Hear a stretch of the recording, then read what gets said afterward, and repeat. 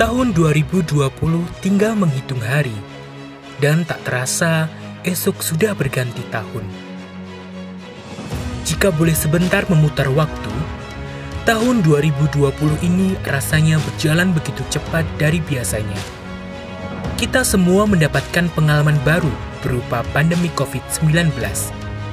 Sebuah cerita yang belum pernah kita alami sebelumnya. Tatanan kehidupan sosial, ekonomi, budaya, dan berbagai sektor mengalami perubahan. Kita jadi punya kebiasaan baru, sesederhana menggunakan masker, memilih untuk menjaga jarak, dan rajin mencuci tangan.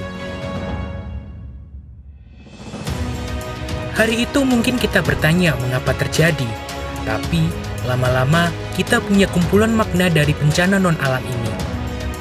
Mungkin selama ini kita lupa akan banyak hal. Rupanya, pandemi COVID-19 ini telah mengingatkan kita bahwa kita tidak bisa hidup di dunia sendirian.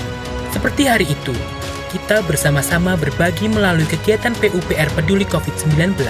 Kita berbagi cinta di sepanjang Sungai Bengawan Solo, dari hulu sampai ke hilir tanpa celah.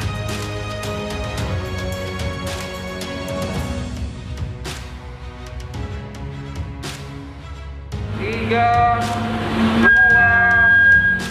satu. Dari semua yang sudah terjadi, akhirnya menerima adalah pilihan yang terbaik.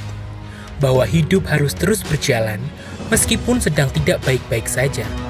Termasuk pembangunan infrastruktur sumber daya air yang sempat terjeda selama beberapa waktu. Namun kami tak mau berhenti. Kita bangkit melalui program padat karya tunai.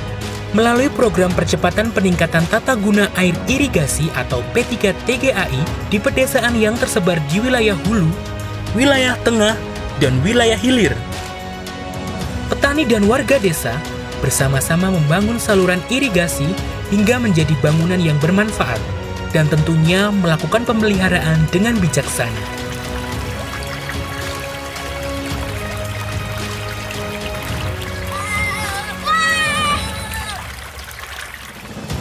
Hanya itu, program padat karya tunai juga dilakukan dalam program aquifer buatan simpanan air hujan atau APSA sebagai sumber air baku untuk masyarakat.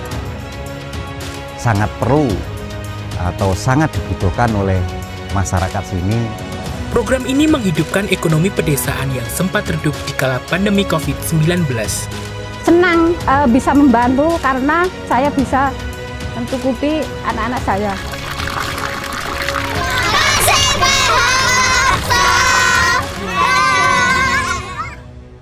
Terima kasih. Dalam menjalani aktivitas sehari-hari, protokol kesehatan harus ditegakkan agar tak khawatir berinteraksi terhadap sesama. Kami terus belajar akan banyak hal, membentuk ruang-ruang baru untuk tetap menjaga keberlangsungan kehidupan masyarakat di sepanjang Sungai Bengawan Solo. Kami juga bersiap saat sewaktu-waktu terjadi hal-hal yang di luar kendali kami. Kami juga selalu berkomunikasi dengan alam.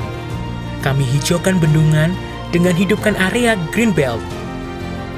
Kami bangun celah-celah kecil untuk keberlangsungan kehidupan masyarakat.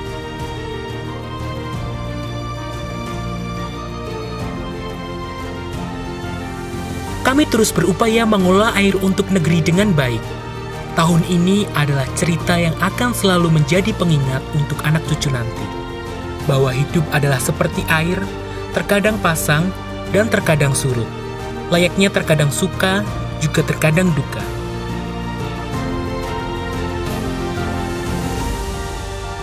BBWS Bengawan Solo mengelola air untuk negeri